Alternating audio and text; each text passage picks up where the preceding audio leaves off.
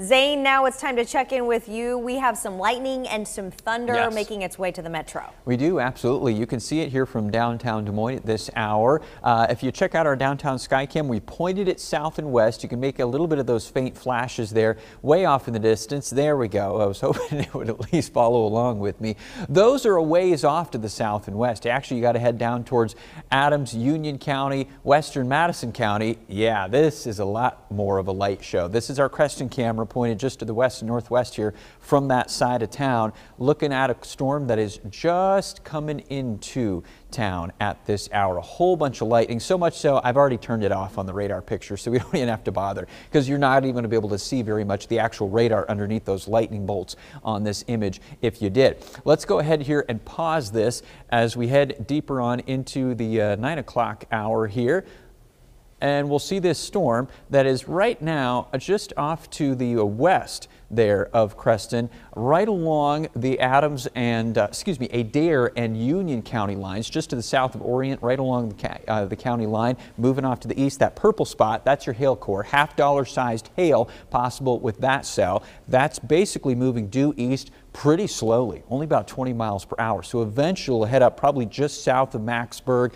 and into the northern portion of Union County. Afton, you're right on the edge of this warning, and then eventually if this storm continues, it makes its way over towards Highway 169 that goes from Thayer up towards Lorimor and then eventually up into Madison County. So southern Madison County, northern Union County, you'll be part of this cell. This cell actually, when it was back over southwestern Adair County, produced a lot of two to two and a half inch size hail around the town of Bridgewater upwards of 20 minutes worth of hail, which is going to cause you plenty of damage. You head south and west towards Corning, much of Adams County seeing plenty of rainfall now, maybe a little bit of smaller hail, but another severe thunderstorm warning again half dollar size hail possible with a couple of these cells, the one off to the north and east of Corning there, and then eventually as you head back to the west and southwest into Montgomery County, and then this one, this cell here will move over into Taylor County before too long. Basically, it's a hail, heavy rain, and lightning type of show at this point in the evening. Now, those are our three severe warned cells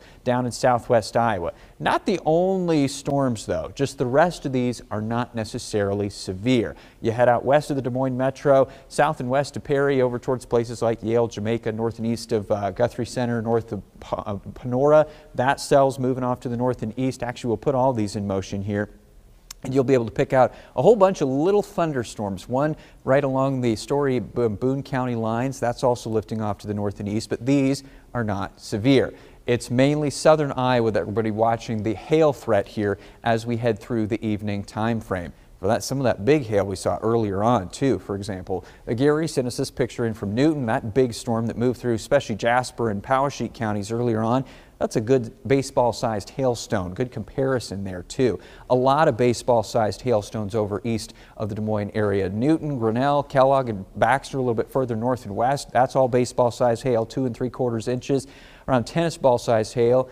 Ames, all the way back to Carroll, Montezuma, golf ball-sized hail, Colfax, inch and a half. So the severe thunderstorm watch is mainly hail and wind threats lasting until midnight. Notice the storms fester across the southern half of the state, I-80 southward, until about midnight, and then we're mostly getting rid of those here the rest of the night. By tomorrow morning, we should be waking up with probably just a few clouds, and then we'll get rid of the residual cloud cover through the rest of your Monday. So no big issues for Monday itself.